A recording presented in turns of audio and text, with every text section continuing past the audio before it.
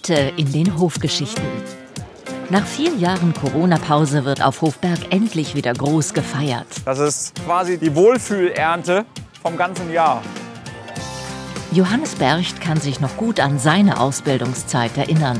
Ich war auch mal anstrengend. Da haben sich in meinem Fall drei Lehrherren sozusagen ein bisschen die Zähne ausgebissen. Gern gesehener Besuch auf dem Mühlenhof in Zeppelin. Mit 20 Jahren bin ich angefangen hier in der Buchhaltung und mit 70 Jahren habe ich in der Buchhaltung aufgehört. Und in Hamburg-Ochsenwerder ist Erntezeit für die Parzellenbesitzer. Ein Hobby, was, äh, was man aufessen kann. das ist einfach super. Dannau in Schleswig-Holstein. Auf Hofberg ist heute ein ganz besonderer und wichtiger Tag. Das erste Hoffest seit vier Jahren. Bis zur letzten Sekunde laufen die Vorbereitungen. Super, super. Hier gehen die Leute lang und dann hier noch so ein Teppich, dass die Leute da einmal reingucken können. Julia hat gestern noch Treppen gefegt, Beete geschnitten, Blumen gepflanzt, Schilder geschrieben und einiges mehr. Heute ist sie für den Infostand zuständig. Das mache ich mit Janis, mein Retter in der Not, und Katharina, das sind die, die sozusagen die Verteiler sind auf dem Hof und alle Herausforderungen und Fragen äh, versuchen abzudecken. Und Julia beruhigen in erster Linie. Hä, sie wieso? nicht Ich so bin überhaupt nicht gestresst. Julia ist die Ruhe selbst. Die Ruhe selbst. Hä, komm schon, es Ja, gibt jetzt- viel hibbeligere Leute. Das stimmt. Das Adrenalin ist berechtigt. Immerhin hoffen sie auf mehr als 1000 Besucher. Aber heute öffnen noch zwei weitere Biohöfe in Schleswig-Holstein ihre Türen. Sie müssen also was bieten. Julia hat sich ein Quiz überlegt. Hier sind Gewürze drin, die wir in der Käserei benutzen. Da muss man dran riechen und rausfinden, was es ist.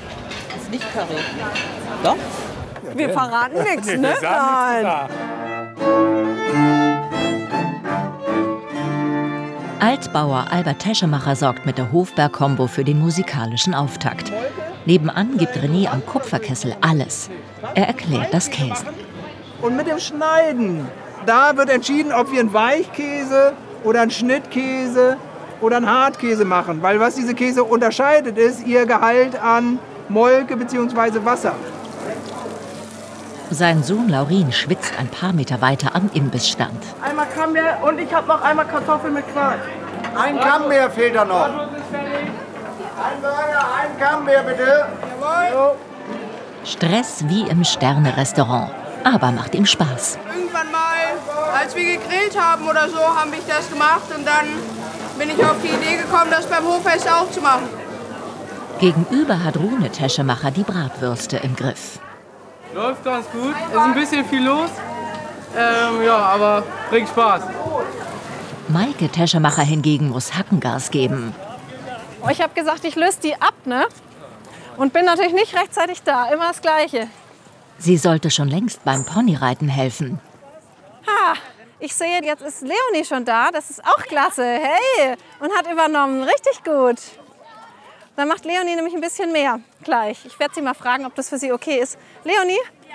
Eigentlich bist du ja erst um halb eins dran. Ist das für dich in Ordnung? Ja, klar. Dann bist du Rika. Cool. Hey, super. Richtig gut, dass ihr das macht.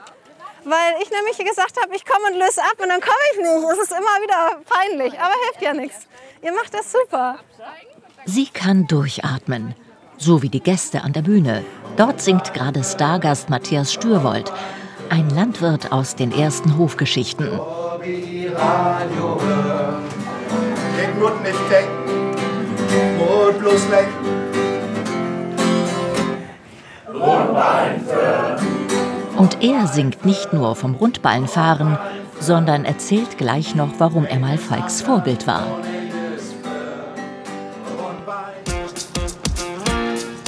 Auf dem Biohof Bercht in Badenhausen am Harz muss der Luftfilter vom alten Case-Trecker gewechselt werden.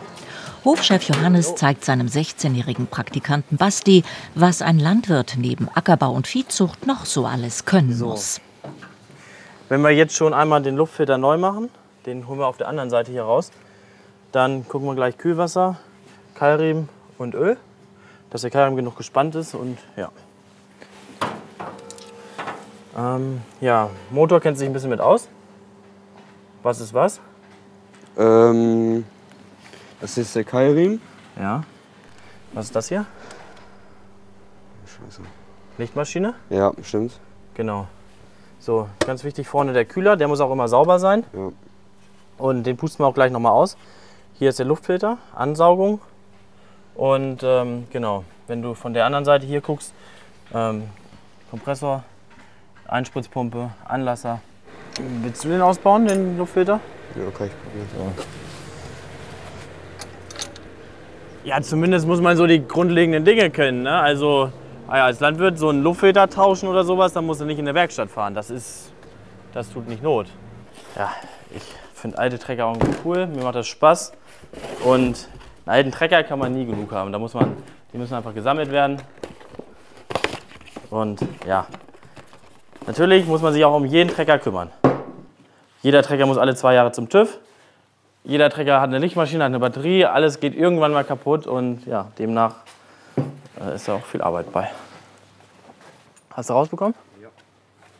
Gut, jetzt musst du, glaube ich, das ist 22 oder sowas.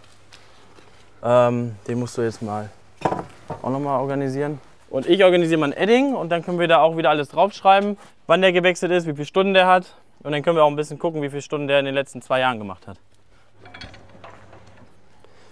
Passt doch nicht. 22er. Ich finde, Wissen weitergeben ist total wichtig. Und mir wurde es irgendwann mal alles erzählt. Also ich war auch mal anstrengend. Und äh, da haben sich in meinem Fall drei Lehrherren sozusagen ein bisschen die Zähne rausgebissen. Äh, zuerst in der Lüneburger Heide auf einem Lehrhof. Und ja, der hat sich ganz viel Mühe für mich gegeben. Und dann war ich hier in Seesen auf dem Lehrhof. Das war einmal Ackerbau und einmal Milchvieh. Und die beiden haben sich super Mühe gegeben. Und ja, ich mache das wohl weitergeben. Ne? Also das macht schon Spaß. Hier. Ja, das sehe ich ganz. Passt. Schraube drauf, festziehen und dann können wir zumachen, können den Mischwagen hochfahren und dann geht's weiter.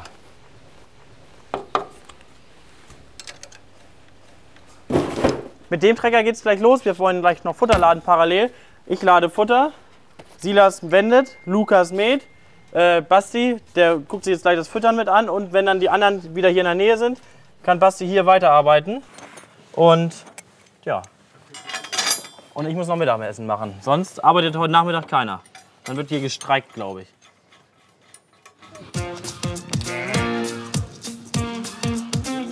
Der Mühlenhof in Zeppelin hat sich für die Biolandpartie herausgeputzt. Alle Ökobetriebe in Mecklenburg-Vorpommern öffnen ihre Tore. Interessierte können sich vor Ort über die Arbeit in der Landwirtschaft informieren. Viele Bewohner aus dem Dorf sind gekommen. Auch Renate Simon. Ich muss ja hierher. Ne? Das ja, ist, unbedingt. Das ist ja mein zweites Zuhause. Das ist mein zweites Zuhause. Wichtigste. Ich bin, bin ja immer noch verbunden hier mit. Mit 20 Jahren bin ich angefangen hier in der Buchhaltung und mit 70 Jahren habe ich in der Buchhaltung aufgehört. Also das soll mal einer nachmachen. Ne? Frau Simon war meine erste Mitarbeiterin und eigentlich wirklich die, die Anlaufstelle in, mit allen Sorgen und Nöten, die man hier so hat in der Anfangszeit, wenn man hier neu herkommt und dann ist man Wessi aus Bayern. Frau Simon war und ist nach wie vor der Anker und das, Ja, da bin schön. ich sehr, sehr da froh drum. Ja. freue ich mich auch zu und danke Ihnen auch, dass Sie so viel Vertrauen zu mir haben. Ja, äh, Frau Simon hat, hat hier ganz maßgeblich dazu beigetragen, dass wir hier Fuß gefasst haben.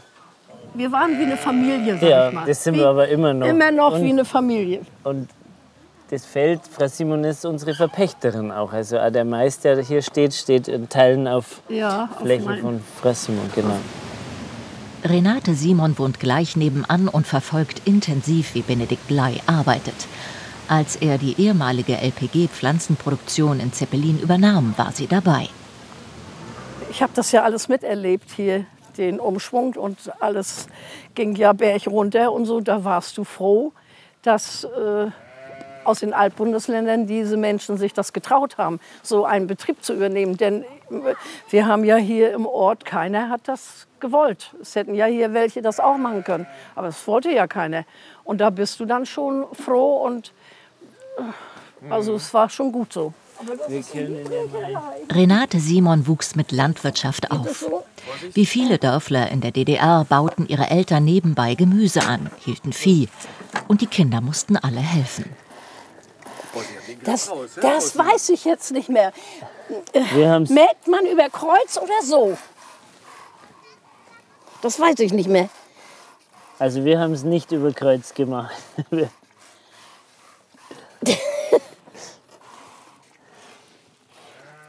Aber links kriege ich nichts mehr raus. Nee, jetzt ist genug.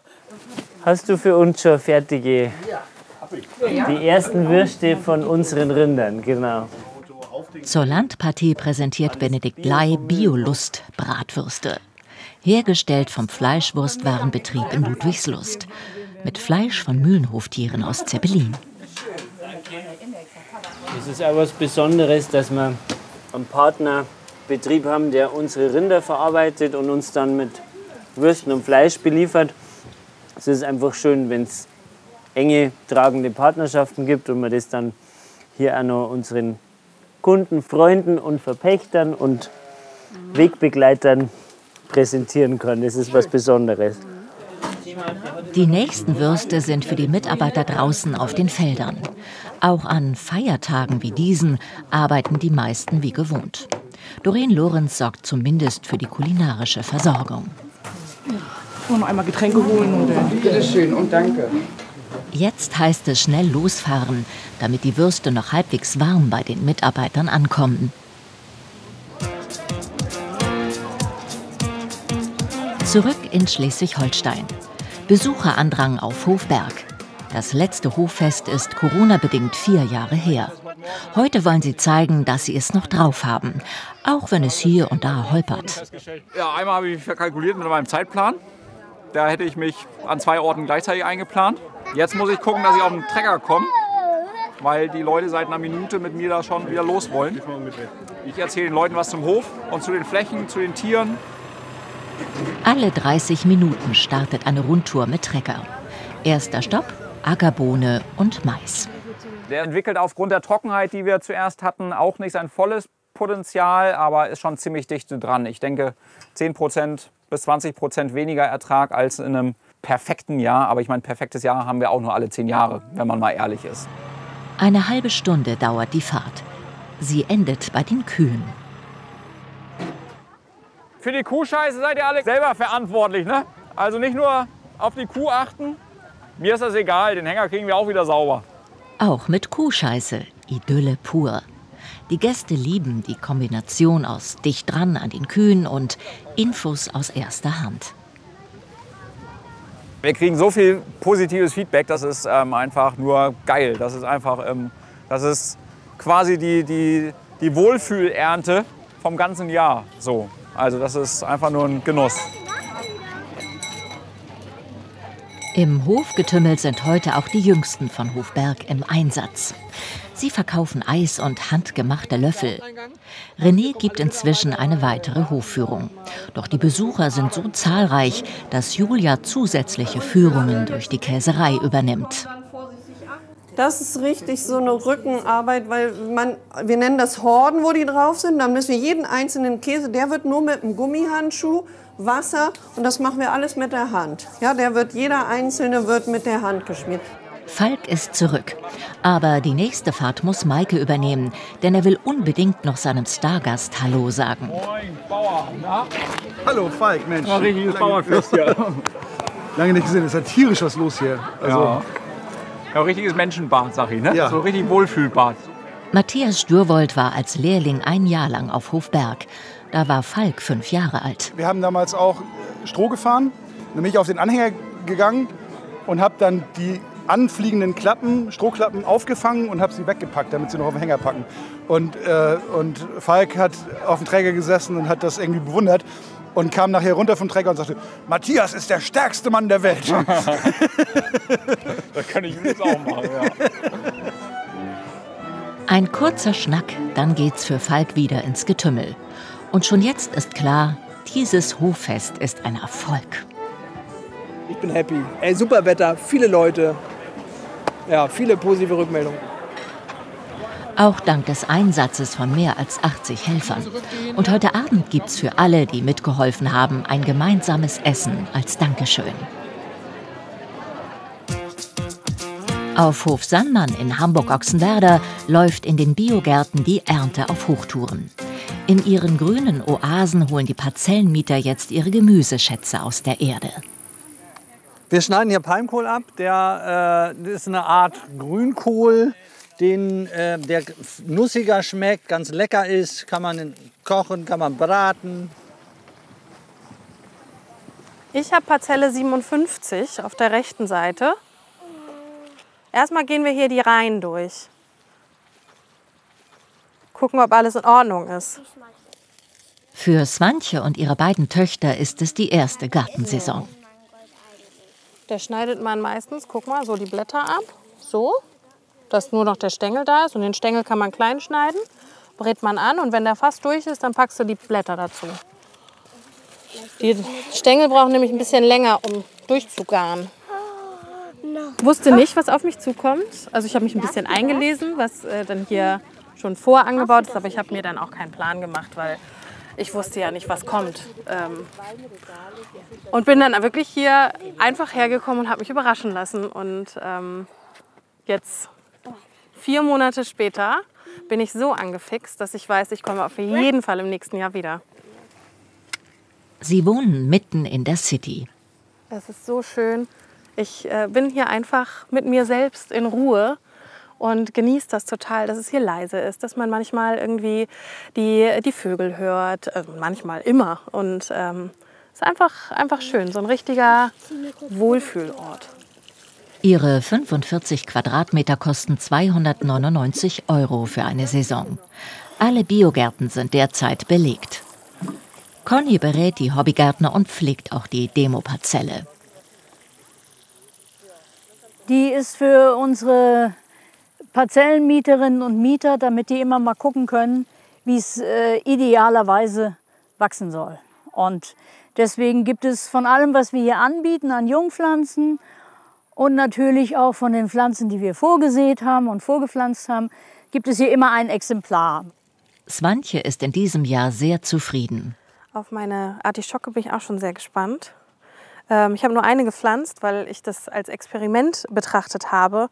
Und zum einen finde ich die Pflanze mega schön und zum anderen freue ich mich jetzt auch wirklich darauf, die Artischocken zu essen. Hi Swantje. Hi. Was ist das? Das soll Feldsalat sein. Ah. Er ist eventuell zu tief gesät und deswegen läuft er nicht so gut auf. Er muss mehr kämpfen, bis er nach oben kommt. Ja, hier kommt auch einer. Ja, genau. Also, wenn du Muße hast, dann zupf mal so vorsichtig was weg. Beim nächsten Mal.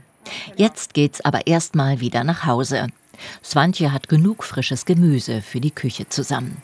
Die Sonnenblumen gehören zum Garten von Tina und Hartmut. Auch sie kommen aus der Stadt und können hier abschalten. Ankommen, runterfahren, ackern, wirklich die äh, Kräuter oder die Beikräuter rauszupfeln. Man mehr, denkt gar nicht mehr an Arbeit. Das ist super. Ich leite ein äh, Mutter-Kind-Haus. Ja, wir arbeiten äh, mit Müttern, die ihre Kinder nicht allein zu Hause großziehen können. Hier wollen wir noch ein paar Möhrchen ernten. Tina ist schon dabei. Gucken wir mal. Während der Erntezeit brauchen sie kein Gemüse aus dem Supermarkt zu kaufen. Ein Hobby, was, äh, was man aufessen kann. Das ist einfach super. Es ist einfach wunderschön hier und entspannt und lecker und gesund und macht einfach total Spaß. Ich habe fast das Gefühl, dass die Radieschen noch brauchen. Die Steckrüben dagegen sind schon überreif. In Badenhausen am Harz geht es vor dem Mittagessen auf die Ackerflächen. Milchbauer Johannes will seinen Azubis noch einmal das Wichtigste in Sachen Kleegrasernte erklären. So, Basti, Silas kommt auch schon. Dann sind wir alle zusammen. Passt sicher, die super. Also jetzt kann man hier, wir können ja hier mal gucken, da wo wir gemäht haben. Hat er einen Zollstock? Ja. Gut. Also, wie immer, wir wollen zwischen 8 und 10 cm mähen. Wir mähen jetzt hier auf der Stelle hier gerade auf 9. Hier sind es 8. 8, das passt soweit. Also, wenn wir zu tief mähen, können wir ein bisschen Dreck mit reinbekommen. Das stört alles den Silierprozess. Aber beim Mähen ist tendenziell das wenigste Dreck, den wir dazu bekommen. Das kommt dann erst beim Wenden, wenn wir hier mit dem Wender so in der Erde rumkratzen. Ne? Das tut immer nicht Not. Oder beim Schwaden. Also jetzt, das passt soweit. Ne? So, dann können wir uns mal das Futter schnell angucken. Das hier ist Kleegras. Ähm, den ist jetzt der fünfte Schnitt dieses Jahr. Das ist echt ergiebig. Und wenn, wie man da sehen kann, zu, keine Ahnung, 85 Prozent nur Klee. Ne? Der Klee kommt jetzt in die Blüte. Er ist noch nicht, ein Teil der Pflanzen ist schon in der Blüte, aber wie man hier sieht, kommt jetzt noch eine Blüte raus. Ne? Und wir wollen immer möglichst vor der Blüte oder gerade zu Beginn der Blüte. Und ähm, einfach aus dem Grund, dass wir da noch am meisten Energie drin haben. Ne? Hier sitzt viel Eiweiß drin. Und ähm, ja, fünfter Schnitt, das ist super. Ne? Tolles Futter. Können wir bei den Kühen mit in die Ration mischen oder eben für die Rinder. Ja, er ist noch jung, er ist noch sehr verbunden. Also mein Chef vom letzten Jahr, der war halt, der konnte auch super erklären, er hatte so super Ahnung vom Landbau, vom Ackerlandbau. Aber man hat gemerkt, dass er schon kurz vor die 60 ist und nicht 25 wie jetzt. Das merkt man schon den Unterschied, wie er dann erklärt. Aber so macht Johannes schon seinen Job gut. Also er erklärt schon wirklich, finde ich, sehr verständlich und äh, gibt sich sehr Mühe dabei. Das ist äh, bei, nicht bei jedem Chef gegeben, das merkt man dann schon. Also, ich bin zufrieden hier mit Johannes. Man lernt genug. Wir fahren einmal Wildschaden gucken beim Mais, dass wir da mal ein bisschen abschätzen können, ob wir da mit dem Profi noch mal rein müssen, um ein bisschen was zu schätzen oder ob wir uns da selber einig werden. Hallo. Aufgabenteilung vor dem Mittagessen. Die Azubis Silas und Lukas übernehmen das Mähen und Wenden vom Kleegras. Johannes und Basti schauen, was die Wildschweine im Maisfeld angerichtet haben. So, Basti. Guck mal. Ja. Ich würde mal sagen, schickes Wohnzimmer, ne? Mhm. Ja, guck mal, wenn wir jetzt bei der Spurensicherung wären, dann könnte man jetzt sagen, die waren hier vielleicht heute Nacht, ne? Weil das sieht gar nicht so alt aus. Ja. Aber wir sind nicht bei der Spurensicherung. Ja, müssen wir vielleicht mal auf Yacht gehen hier hinten, ne? Wahnsinn. Guck mal, hier können die langlaufen, überall. Vorne haben sie auch gebuddelt. Ja, gut, ist halt so. Leben und leben lassen, ne? So, nicht nur die Wildschweine haben Schmacht, sondern wir auch, ne?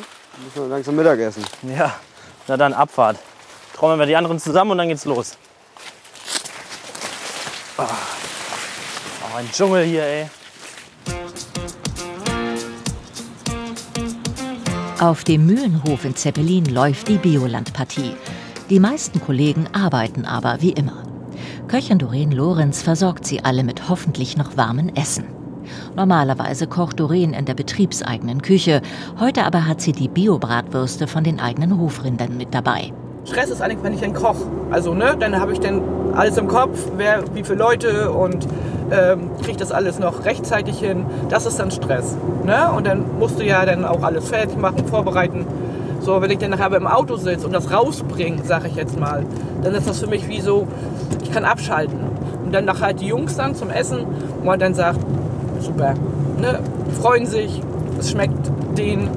Ne? Also, es, also solange wie ich jetzt koche, sage ich jetzt mal, gab es noch nicht eine Beschwerde. Die Männer bereiten gerade die Felder für die Herbstbestellung vor. Drillen, pflügen, säen, auch am Wochenende. Jedes Getreide hat seine Zeit. Der Roggen muss jetzt in den Boden. Momentan spielt das Wetter gut mit. Die Pause zwischendurch ist wichtig, nicht nur um den Hunger zu stillen. Mahlzeit. Auf dem Trecker sind sie allein, ziehen Furchen stundenlang. Fällt hoch, fällt runter. Beim Essen sehen sie mal die Kollegen und können sich die Beine vertreten. Naja, die sitzen den ganzen Tag mit, mit, mit dem Arsch auf dem Träger, sage ich jetzt mal. Und dann müssen sie auch was Vernünftiges essen. Also nicht nur Fastfood, sage ich jetzt mal, sondern halt auch mal Kartoffeln. Also dass sie halt wirklich was Vernünftiges essen. Ne?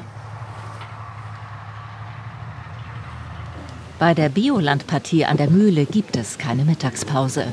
Vor allem die Kinder sind unentwegt dabei, tollen rum oder probieren sich beim Melken aus. Benedikt Blei ist mittendrin, wie früher in seiner Kinderzeit.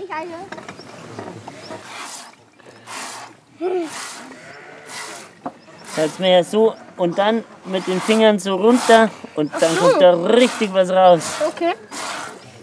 Ich krieg noch ein paar Tröpfchen. oi, oi, oi. Aber von oben nach unten und ihr müsst euch immer vorstellen, am Ende darf das der Kuh auch nicht wehtun, sonst wird euch die wegstoßen irgendwann. Das ist keine echte Kuh. Ach komm. Ich habe mir gedacht, das ist eine echte Kuh hier. Melken kann eine ganz meditative Tätigkeit sein. Das ist ganz was, was Schönes. Wenn man mit den Eltern, aber auch mit den Kindern ins Gespräch kommt über Landwirtschaft, dann wollen wir hier ein positives Bild vermitteln und zeigen, wie wir produzieren, wie wir Lebensmittel erzeugen und dass es am Ende ein ganz spannender und attraktiver Beruf ist, was Schönes ist. Und äh, wenn wir das an so einem Tag ein bisschen vermitteln können, dann freut uns das. Deshalb macht der Mühlenhof bei der nächsten Biolandpartie auf jeden Fall wieder mit. In den Biogärten in Ochsenwerder gibt es Nachwuchs. Der heißt Noah und schläft gerade bei Mama Daniela in der Babytrage. Gucken, was unsere schönen Kartoffeln heute machen. Jan Simon ist Bauleiter. Eier suchen hier. Ah, Es ist ihre zweite Parzellensaison. Da sind sie. Guter Boden. Haben wir lange für gearbeitet und gepflegt und die ganzen Kartoffelkäfer abgeerntet. Nur Pflanzen der Gärtnerei Sandmann dürfen hier in den Acker. Wir machen ja hier alles in Demeter-Qualität, also ungespritzt und ohne irgendwelche Pestizide. Und das ist schon auch jetzt gerade so mit, mit Nachwuchs und gesunder Ernährung ist das schon wirklich einfach mega Qualität, die man hier rausbekommt. Und wenn man so hier sieht, hier versteckt sich zum Beispiel noch so eine Zucchini, die ich vergessen habe. die, die können wir dann nachher noch ernten. Und da werden wir dann eine schöne Suppe oder irgendwas draus kochen. Seit er jetzt im Juli da ist, war ich jetzt tatsächlich gar nicht mehr mit da, sondern das erste Mal heute. Und bin auch erstaunt, dass das noch gut alles ja, zu ernten ist jetzt. Und freue mich, das jetzt dann auch alles wieder schön zu verkochen und zu verwerten. Und ja, sind wir wieder sehr glücklich und dankbar über diesen leckeren Gemüseacker hier. Ich will mal nach dem Rotkohl gucken. Ähm, Der scheint in diesem Jahr nicht so gut zu wachsen. Ich muss jetzt mal hier drunter. Oh, jetzt ist Noah aufgewacht. Ja, Ne? der muss auch gleich wieder in den Schatten. Ja. Hm. Was haben wir da? Unseren Rotkohl. Ja, nicht so. Der Rotkohl hat eine Krankheit. Guck mal, Kommt nichts mehr, ne? Der wird nichts mehr. Das ist ein Pilz. Der befällt die Wurzeln Mhm. und dann gehört eigentlich in Hausmüll. Ne? Gleich gegenüber haben zwei Arbeitskolleginnen ihre Leidenschaft fürs Gärtnern entdeckt. Eine Steckrübe XXL kommt dabei heraus. Die kann man ja schön im Keller lagern. Kühl und trocken. Und dann halten die den ganzen Winter über. Auch schon erntereif weiße und rote Radieschen. Naja, zum Wegschnabulieren. Oh, guck Oh, hui. Allmählich kann Annika die Arbeit genießen. Ich hatte die ersten Wochen so einen Muskelkater wie noch nie in meinem Leben. Ehrlich, völlig ungewohnte Bewegung, immer rumzupulen. Aber wenn man da die Erträge mit nach Hause nimmt, ist so geil. Das ist echt toll. Conny gönnt sich mal eine kleine Pause. Sie berät die Hobbygärtner noch bis November. Dann ist Saisonende.